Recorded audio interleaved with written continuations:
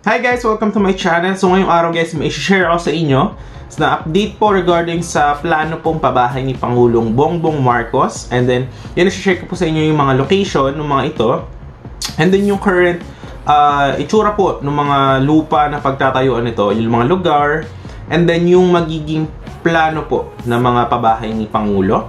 Yan, ipapakita ko po yung lahat dito. And then yung mga information po regarding sa ongoing construction ng mga pabahay na ito. And guys, kung gusto nyo panoorin ito, uh, tapusin nyo po yung video na ito hanggang sa dulo. And kung bago ka sa ating channel, huwag mo naman kalimutang i-like, share, and subscribe. And syempre, hit mo yung notification bell para lagi kang updated to our next upcoming videos, no? So, ito guys, ipapakita ko sa inyo yung uh, yung mismong update dito sa aking likuran and yung mga plano po, pasilip na plano. So ito po sa aking likuran guys, ipapakita ko sa inyo yung plano ni Pangulo uh, and yung uh, status po and then yung mga lugar and then yung current na itsura at syempre yung magiging um, pasilip na construction plan dito po.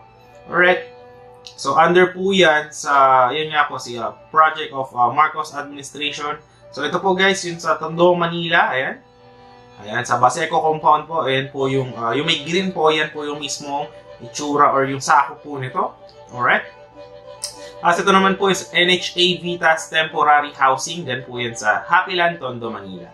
So ayan po guys, ito po yung current na itsura nung uh, pabahay. Ito po yung plano, yung proposed plan dito sa lugar na ito. So as you can see, ito po yung current, and yan po yung proposed. And then, ang um, mangyayari po dito is, uh, gusto po nila is like condominium type na housing po. And yun nga po, ang plano po dito is masolusyonan yung 6.5 million nating mga kababayan ng bigyan ng pabahay, no? So, ang plano po dito is uh, every year makapagbigay uh, po ng 1 million na pabahay para sa ating mga kababayan. So, yan po guys, yung proposed plan dito po sa Delpan Bridge. Ayan, dito po yung current na itsura and then dito po yung proposed na itsura sa project na ito. Alright? Naman po guys yung sa Nia Road, Quezon City, no? Ayan, as you can see, ito po yung, yung may green yung mismo location and po yung current na itsura nung sa Road, Quezon City. At ito naman po yung proposed plan for the housing para sa ating mga Pilipino. Ayan.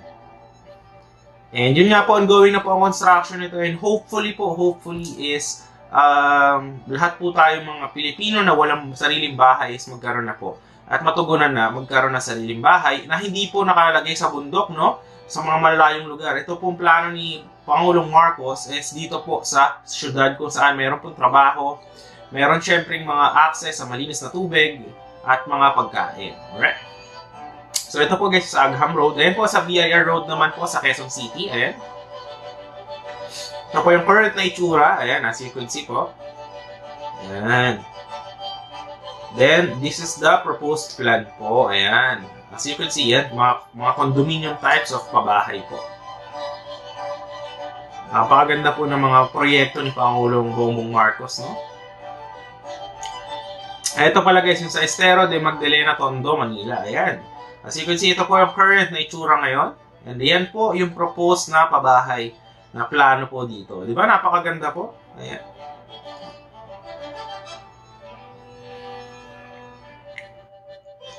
Ayan, no? Ayan guys, ito yung sa Kaingin Bukid sa Quezon City, no? Ayan. Ito po. Katulong din po si uh, Mayor Joy Belmonte po, no? Nandyan din po siya na inaprubahan kasama po sa proyektong ito. Ayan. Yan po yung proposed plan. Ayan. Ito guys, yung sa Tacloban, sa Tacloban City. Ayan. Ito po yung proposed plan sa coastal concept. Ayan. Napakaganda po nito.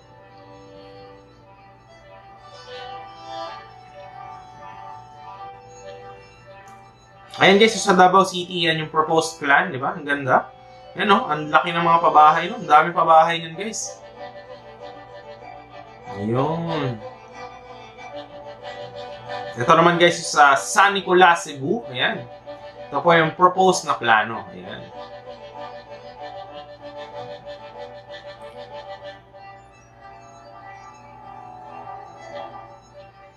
Ayan guys. So ito nga sa Baseco, Manila. Ayan yung proposed na project po regarding dyan.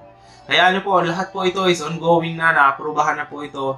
So hopefully maayos na po ito. And then guys, ito naman sa barangay uh, Nanika sa ano po. And then yan, inaayos na po. May mga heavy equipment na po dyan. So tinataasan po ng tambak kahit malapit po ito sa ilog para in case na magka-ulan po or baha is hindi po maapektuhan yung mga pabahay dito. Ayan. Can see, napakaganda po, di ba? Ayan. So ito nga po yung uh, agreement, no? Memorandum agreement and yung uh, naaprubahan na po. Yan po yung mga papeles nila. Ayan. Katulong po yung mga other government agencies po regarding sa mga pabahay na ito. Siyempre, under po yan sa pambansang pabahay para sa Pilipino ni Pangulong Bongbong Marcos. Ayan. Yun. Ayan guys, ito yung mga ongoing project. Ayan. So yun nga po ang plano po is uh, makapagpatayo ng 6.5 million unit para sa mga kababayan natin na wala pong sariling bahay and soon po magkakaroon na po sila ng mga sarili nilang bahay, no? Alam naman po natin ang hirap nang lagi lang wala ka pong sariling bahay.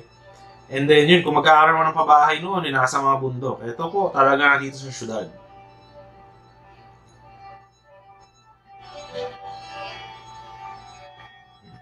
Ayan guys, yung option 1, option 2, and option 2. Ayan, ito po.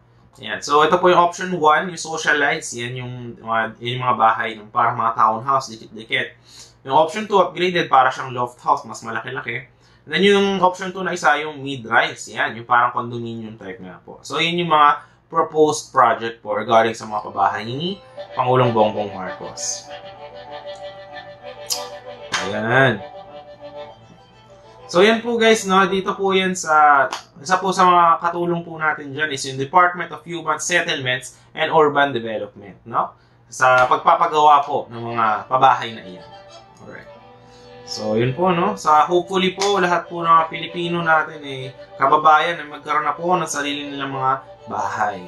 Uh, katulong po syempre sa Pangulong Bongbong Marcos at yung ating mga other government agency. Yan, yan po yung mga location guys. Meron sa Bacolod City, Rojas, Mandaue City, and Iligan City. Ayan po yung mga plano. So yan po, para po yan sa nationwide po, no? Na plano po sa pabahay na ito. Hindi lamang po sa mga syudad, probinsya. Nationwide po.